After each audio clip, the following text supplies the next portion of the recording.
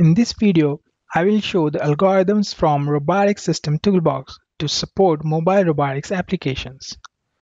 Consider a problem where you want to drive a robot from a known location to another in a known environment.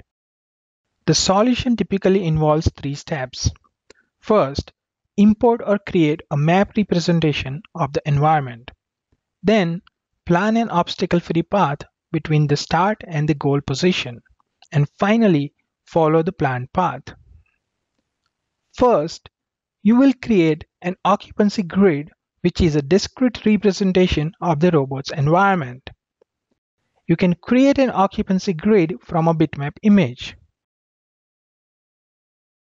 Or you can receive an occupancy grid from ROS. Alternatively, you can also build an occupancy grid using the range sensor data received from a robot. In the second step, the probabilistic road maps path planner determines connectivity between different areas of the map. The planner then allows you to find obstacle-free paths between different points on the map. Finally, you can use the pure pursuit algorithm to drive the robot along the planned path.